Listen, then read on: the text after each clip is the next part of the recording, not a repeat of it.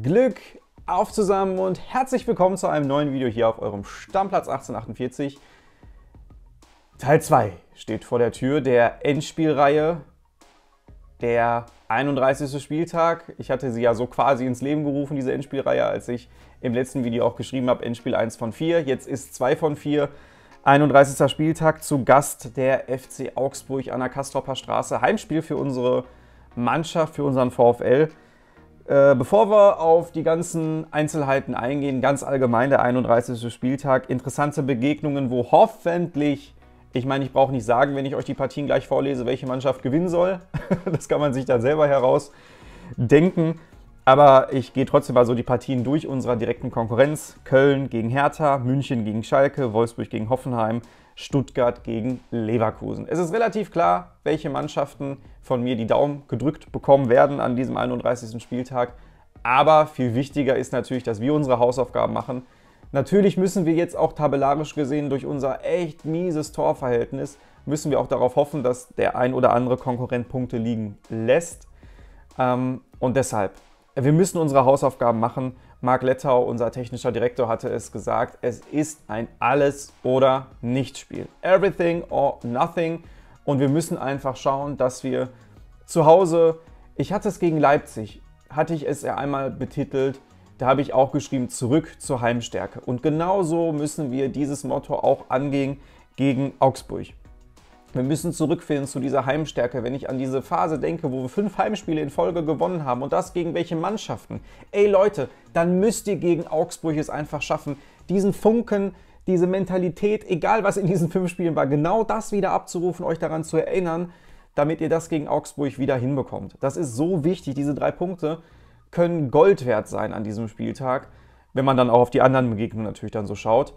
Aber es ist natürlich alles andere als einfach denn auch Augsburg möchte nicht in diesen Sumpf noch mit reingezogen werden, weil auch die sind rechnerisch gesehen noch nicht sicher. Und deshalb muss einfach alles daran gesetzt werden, dass wir dieses Spiel angehen, als wäre es eigentlich schon das Endspiel 4 von 4 und mit dieser Mentalität alles oder nichts auch da reingehen und auch das beherzigen, was unser Capitano nach dem Gladbach-Spiel gesagt hat, das steht an allererster Stelle. Boah Leute, ich sag's euch. Nervlich gesehen bin ich in der letzten Zeit ein ganz schönes Wrack, was unseren VfL angeht.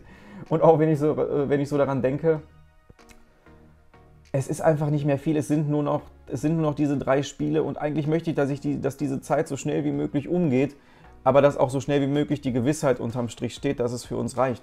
Aber es wird halt auch bis zum Schluss dauern und das macht mich halt auch irgendwie so nervös und angespannt, weil ich einfach nur möchte, dass unser VfL natürlich in der ersten Liga bleibt.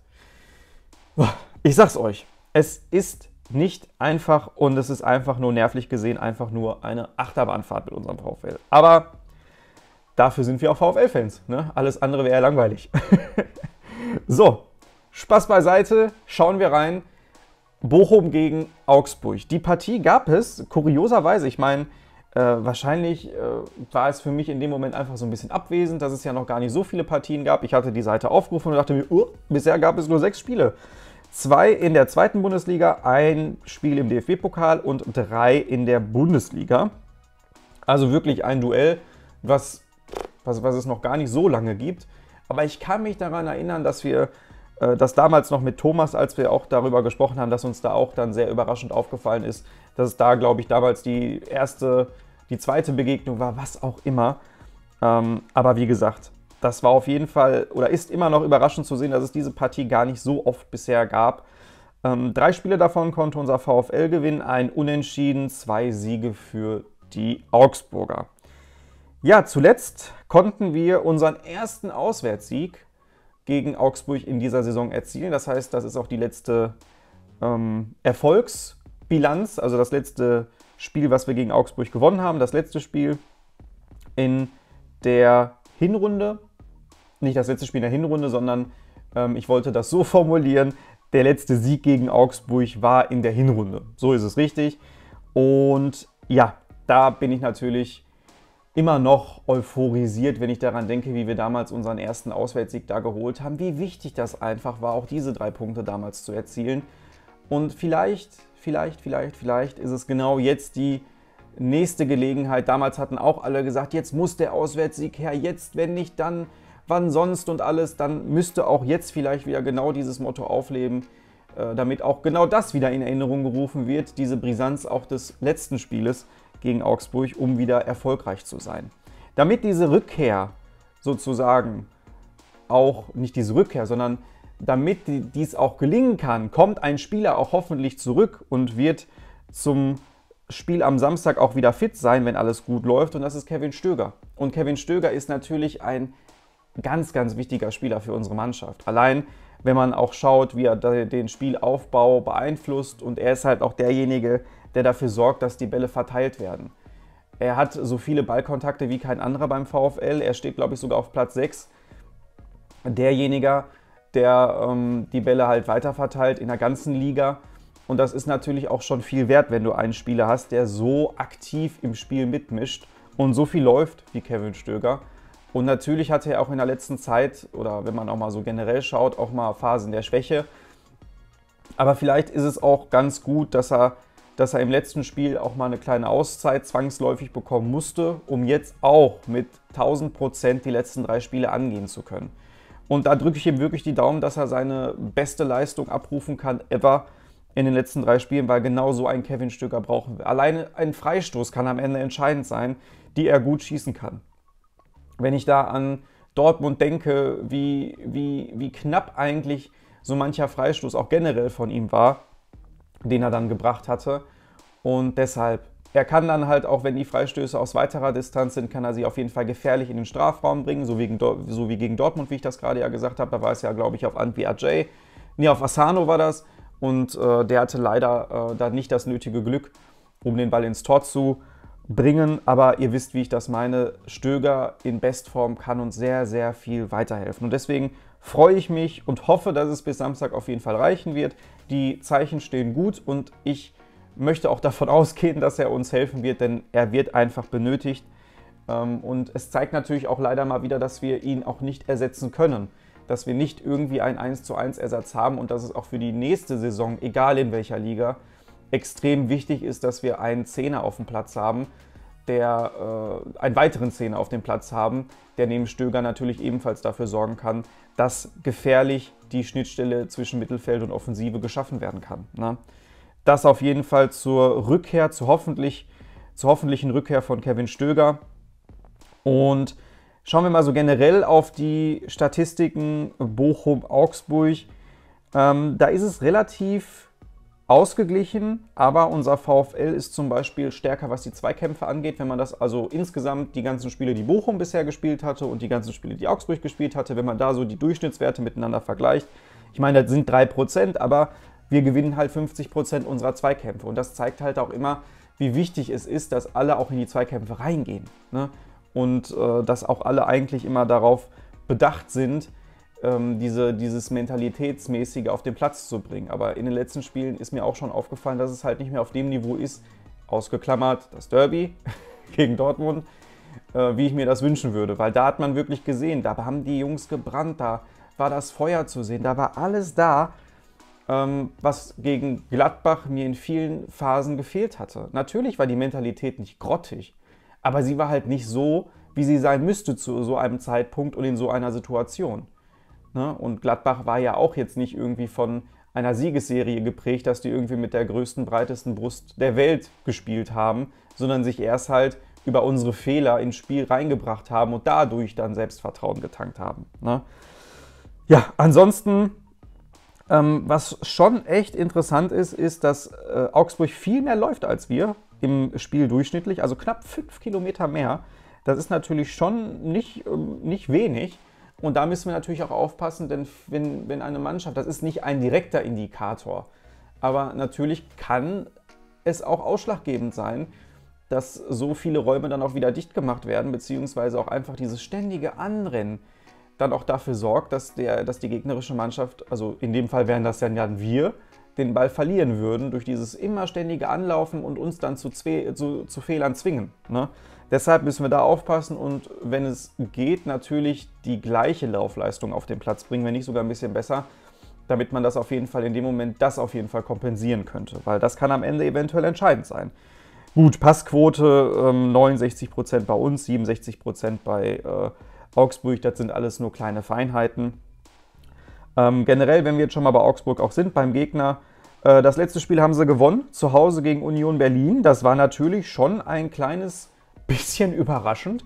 Und ich war am Ende auch echt noch mehr dadurch fertig, als ich dann die. Ich hatte, ich hatte natürlich nur Bochum geguckt, alles andere hatte mich auch erstmal nicht interessiert, weil ich mir dachte, ich will mich während des Spiels ähm, nicht verrückt machen lassen und hatte mir auch keine anderen Ergebnisse oder Zwischenergebnisse äh, mal so angeschaut. Und dann gucke ich am Ende so, habe gesehen, Union Berlin hat verloren gegen Augsburg und ich denke mir so, das kann doch jetzt nicht deren Ernst sein. Das kann doch jetzt nicht deren Ernst sein. Aber es war natürlich am Ende so, aber die Stimmung war deshalb natürlich noch viel mehr ähm, im Keller auf Deutsch gesagt. Aber sie haben auf jeden Fall gewonnen, hatten zuvor hatten sie ein Unentschieden gegen Frankfurt erzielen können, ein Unentschieden gegen Stuttgart. Ja, also es ist auf jeden Fall nicht so, dass Augsburg aktuell irgendwie eine, weiß ich nicht, Durchstrecke hat oder dass sie, dass sie irgendwie total verunsichert spielen. Es ist relativ stabil in Anführungsstrichen und deshalb ist es natürlich für uns umso wichtiger, ähm, dass wir mit allen Sinnen äh, dass wir alle Sinne beisammen haben und dieses Spiel auch wirklich ernst nehmen und auch annehmen. Und formationsmäßig ist es relativ, ja, sie, sie passen es halt immer dem Gegner an. Ne? Mal geht es mal geht's auf eine Dreierkette, mal spielen sie mit einer Viererkette, dann mal wieder mit einer Doppelsechs. Also ähm, sie passen es halt, sie passen es halt dem Gegner an, wie sie spielen wollen. Und ich rechne oder ich gehe mal davon aus, ähm, dass sie bei uns auch mit einer, mit einer Dreierkette auftreten werden. Das ist so meine Einschätzung, ähm, dass, sie, dass sie das auch versuchen wollen. Im Spiel kann man natürlich immer schauen, dass man variabel das nochmal noch mal ändert, je nachdem, wie das Spiel natürlich auch verläuft. Aber für mich starten sie auch mit einer taktischen äh, Formation, die mit einer Dreierkette beginnt. Und da müssen wir einfach mal schauen. Ne? Wenn ich jetzt auch auf die letzte Aufstellung von Augsburg äh, schaue, Klar, ich meine, Rex Bajai, ich hätte ihn gerne eigentlich eher auf äh, Bochumer Seite und äh, wir werden auch irgendwann dann ja über mögliche Transfers noch sprechen, die uns erreichen könnten. Und da wird Rex Bajai auch für mich weiterhin ein, ein Faktor sein, weil er ist für mich einfach ein Mentalitätsmonster. Und wenn ich daran denke, wie er sich mit dem Verein identifiziert hat und wie viel Spaß der daran hatte, auf dem Feld zu sein und uns auch anzufeuern auf den Tribünen, ich glaube, er würde auch insgeheim gerne, das hoffe ich auf jeden Fall, zurück an die Kastropper Straße kommen. Und das wäre ein Wunsch von mir, wenn es nicht in der nächsten Saison klappt, weil er hat natürlich auch einen laufenden Vertrag. Heißt mittlerweile im Fußball auch nichts mehr, weil man auch eine Ablöse zahlen kann. Und dann kann auch ein Spieler mal früher kommen. Aber vielleicht danach die Saison. Aber er könnte auf jeden Fall wieder ein ganz, ganz wichtiger Spieler werden im, im, im System des, des VfL. Und deshalb, also Rex Bejai, klar jetzt äh, gesetzt auf Augsburger Seite Engels, ähm, Meier und äh, Bauer, das sind halt auch alle Spieler, die, die haben Qualität, die sind gut. Ähm, Bauer Verteidiger, Engels ebenfalls Mittelfeldspieler, Demirovic. Ne, also es ist auf jeden Fall eine starke Truppe, die auch in der Saison die eine oder andere Überraschung schon erzielen konnten. Ne, wenn ich an den Sieg denke, den sie gegen München erzielen konnten, dann ist Augsburg eine Überraschungsmannschaft, die man nicht unterschätzen darf. Wie gesagt, ich gehe davon aus, äh, dass sie mit einer Dreierkette in Bochum auftrumpfen werden. Und dann werden wir einfach mal schauen, ja, wie äh, das denn dann für uns am besten zu bespielen ist. Und für uns, ich habe hier so einen kleinen schönen Zettel geschrieben. Ich habe ja gesagt, wie, es, wie, wie, äh, oder wie wir Augsburg bespielen müssen. Habe ich mir einen kleinen schönen Zettel gemacht. Ihr seht, ich habe hier so ein bisschen rumgeschmiert, weil ich mir so ein paar Ideen überlegt hatte, dann habe ich sie wieder verworfen und habe mir gesagt, nee, das kannst du eigentlich nicht machen. Ich habe hier zum Beispiel mal den Namen Bruschinski aufgeschri aufgeschrieben anstatt Hofmann. Dann habe ich mir auf der anderen Seite gedacht, ja, Bruschinski ist nicht schlecht, aber du brauchst auf der anderen Seite wieder einen Hofmann, weil der einfach groß ist, der, der hilft dir dann auch gleichzeitig weiter, wenn Ecken sind des Gegners im eigenen Strafraum, um den äh, dicht zu halten. Äh, die eigene Kopfballstärke, die er hat, wenn halt Ecken reinkommen vom, von, weiß ich nicht, von, ist ja egal, wer die Ecken dann schießt, ob es jetzt ein Förster ist oder ein Antwi Jay oder keine Ahnung wer. Aber dass er natürlich auch da immer stark ist und vor allem er ja auch derjenige ist, der die meisten Tore für uns als Einzelspieler erzielt hat. Und deswegen tue ich mich schwer, eigentlich an der Personalie was zu rütteln, obwohl ich eigentlich Bruschinski gerne mal von Anfang an sehen würde. Wenn ich dann aber sage, okay, lasst uns doch mal über eine Doppelspitze sprechen, dann müsste man zwangsläufig jemand aus dem Mittelfeld aufgeben. Und das wäre jetzt auch nicht so die Variante, die ich bevorzugen würde. Und deswegen läuft es halt für mich, weil unser Kader es irgendwie auch nicht anders hergibt, läuft es halt wieder auf ein 4-2-3-1 hinaus. Und wir haben im Tor, ich blende es euch auch wieder ein, ein Riemann. Dann habe ich mir aufgeschrieben Stajflidis, Masovic, Ordetz, Janko. Das ist für mich unsere Abwehrkette, ähm, weil Soares muss unbedingt einfach jetzt auch mal dann vom Platz runtergenommen werden. Ich finde es gut, dass Letsch ihm am Anfang noch vertraut hat und auch das Vertrauen geschenkt hat, um zu sagen, ey Junge, mach doch bitte einfach wieder das, was du kannst. Aber es hat leider nicht funktioniert, deshalb muss jetzt aber auch die Konsequenz gezogen werden. Ähm, Janko, gut, da könnte man noch überlegen, Gamboa hat es jetzt nicht katastrophal schlecht gemacht, aber es hat ja auch einen Grund, warum Letsch zur Halbzeit in Gladbach die beiden Außenverteidiger halt auch rausgenommen hat. Und mit äh, Stuffy und mit Janko war es dann nicht perfekt, aber es war besser. Es war besser als die Kombination Soares-Gamboa. Im Mittelfeld, im defensiven Mittelfeld, sehe ich Losilla und Förster. Und dann kommt unsere, ja, dann kommt Kevin Stöger natürlich zurück auf der 10. Das hoffe ich, dass das passt. Und ich bin immer noch dafür, ein Holtmann wieder auf den Platz zu bringen und ein Antwi Ajay. Und vorne dann Philipp Hofmann. Das ist meine Aufstellung. Äh, so möchte ich, dass wir, dass wir gegen, gegen Augsburg spielen werden. Schreibt es in die Kommentare, was ist euer Wunsch? Wo würdet ihr vielleicht eine Personalie doch noch verändern? Wo würdet ihr mehr dran rütteln? Schreibt es gerne in die Kommentare, da bin ich natürlich sehr gespannt drauf. Und ja, bevor wir dann zum Spieltagstipp und zum Abschluss dieses zweiten Teiles der Endspielreihe dann kommen, möchte ich mit euch noch kurz darüber sprechen, so ein bisschen drumherum. Äh, wir haben einen neuen Torhüter verpflichtet. Er kommt äh, aus der dritten Liga, Tide, und ist neben Paslak und ähm, Noah Losley der nächste Transfer für unseren VfL.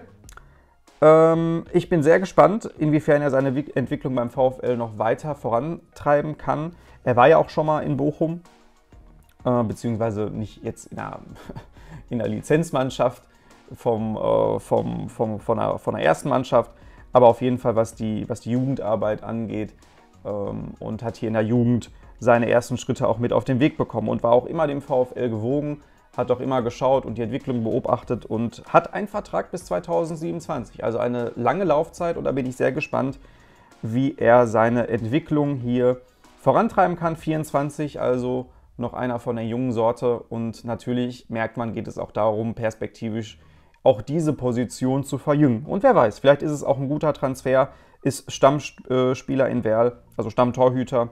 Und dann schauen wir einfach mal, wie er hier in Bochum ja, so zurechtkommen wird.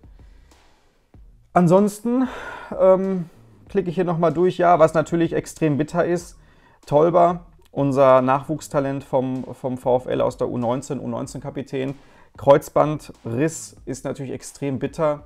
Aber hier kann man einfach nur die besten Wünsche und Genesungswünsche dann äh, an Tolba senden und einfach hoffen, dass er schnell, so schnell wie möglich und so schnell es natürlich dann auch die Behandlung zulässt oder auch die Verletzung zulässt, dass er wieder zurückkehren kann auf den Platz. Denn ähm, er ist für mich auch einer, der ähm, so ähnlich wie, wie äh, Bella Kotschap und Leitsch äh, ein, ein Spieler ist, der aus unserem eigenen Talentbereich äh, potenzieller Stammspieler werden kann und auch das nötige ja, Talent hat, um diese Position, die er dann auch kriegen könnte, ähm, ausfüllen kann. Deswegen da natürlich gute Besserung, komm schnell, komm schnell wieder zurück, damit du, ja, damit du weiter an deiner Karriere arbeiten kannst. Tja, das war es eigentlich auch, was ich euch mitgeben möchte für das, für das Spiel gegen, gegen Augsburg. Ihr seht vielleicht noch ganz kurz, habt ihr vielleicht gesehen, ich habe so ein bisschen das Setting hier noch angepasst. Äh, vor allem hier in dem kleinen Bereich. Da ist die Dauerkarte, da ist der Mitgliedsausweis. Ich wollte das so ein bisschen alles noch und da, ne, Kastropper Straßenfußball. Ich wollte das alles noch so ein bisschen aufhübschen. Ich hoffe, es ist mir gelungen. und jetzt kommen wir zum Spieltagstipp. Äh, 1-0 VfL Bochum. Ich sage dazu nicht mehr viel. Ich sage da gar nichts mehr zu 1-0 VfL Bochum und dann schauen wir, Schreibt alles in die Kommentare, was euch durch den Kopf geht. Schreibt euren Spieltagstipp runter, eure Aufstellungswünsche. All das, was euch wie gesagt durch den Kopf geht. Lasst einen Daumen nach oben da, wenn euch das Video gefallen hat. Drückt auf den Abo-Button, lasst die Glocke bimmeln, damit ihr auch kein Video mehr von eurem Stammplatz 1848 verpasst. Tja, das war's. Daumen sind gedrückt. Ich bin gespannt wie ein Flitzebogen und hoffe und bete einfach nur, dass es für unseren VfL gut geht. In diesem Sinne, bleibt gesund, macht es gut und Glück auf zusammen.